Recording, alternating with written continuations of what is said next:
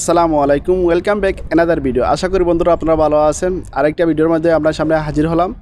আর আজকের ভিডিওটি হলো ফ্লাইট সম্পর্কে এবং সৌদি এয়ারলাইন্সকে বাংলাদেশে ফ্লাইটের অনুমতি না দেওয়ার কারণ কি, সেজন্য ভিডিওটি সম্পূর্ণ দেখুন। আর আপনি যদি আমার চ্যানেলে নতুন হয়ে থাকেন, অবশ্যই আমাদের চ্যানেলটি সাবস্ক্রাইব করে আমাদের সাথে থাকবেন।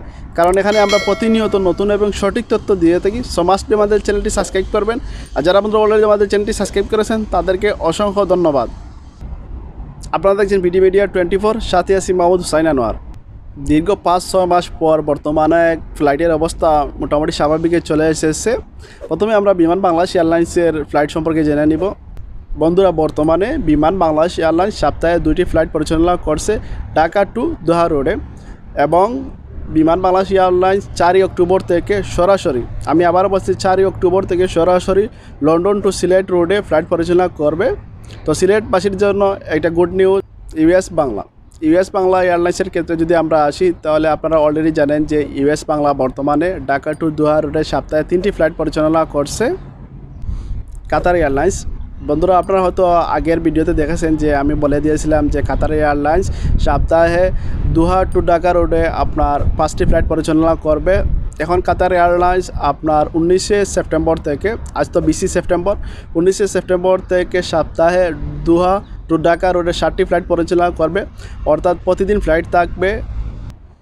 এখন আসি আমরা সৌদি এয়ারলাইন্সকে বাংলাদেশে ফ্লাইটের অনুমতি দেওয়া হয়নি, কেন? আপনারা হয়তো অলরেডি জানেন যে সৌদি এয়ারলাইন্স বাংলাদেশের কাছে ফ্লাইটের অনুমতি চেয়েছিল। তখন বাংলাদেশ থেকে সপ্তাহে দুটি ফ্লাইটের অনুমতি দেওয়া হয়েছিল সৌদি এয়ারলাইন্সকে কিন্তু বাংলাদেশ যখন সৌদির কাছে বিমান বাংলাদেশ এয়ারলাইন্সের অনুমতি চেয়েছিল, তখন সৌদি বিমান বাংলাদেশ এয়ারলাইন্সের ফ্লাইটের অনুমতি দেয়নি, যার ফলে সৌদি এয়ারলাইন্সের ফ্লাইটের অনুমতি বাতিল করা হয়েছে। অর্থাৎ সৌদি এয়ারলাইন্স আর বাংলাদেশে ফ্লাইট পরিচালনা করবে না। এই আইনটি একই অক্টোবর থেকে কার্যকর করা হবে।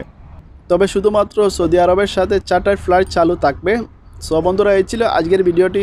যদি ভিডিওটি ভালো লাগে, অবশ্যই ভিডিও লাইক এমন কমেন্ট করে আপনার মতামত দিবেন। আর আপনার যদি আমার চ্যানেল নতুন হয়ে থাকেন, অবশ্যই আমাদের চ্যানেলটি সাবস্ক্রাইব করে আমাদের সাথে থাকবেন। কারণ এখানে আমরা প্রতিনিয়ত নতুন এবং সঠিক তথ্য দিয়ে থাকি সো মাস্ট বি আমাদের চ্যানেলটি সাবস্ক্রাইব করেন আর অবশ্যই ভিডিওটি আপনার বন্ধুবান্ধব সবার সাথে শেয়ার করুন। দেখা হবে অন্য কোনো নতুন ভিডিওতে। এ পর্যন্ত ভালো থাকুন, সুস্থ থাকুন। আল্লাহ হাফিজ।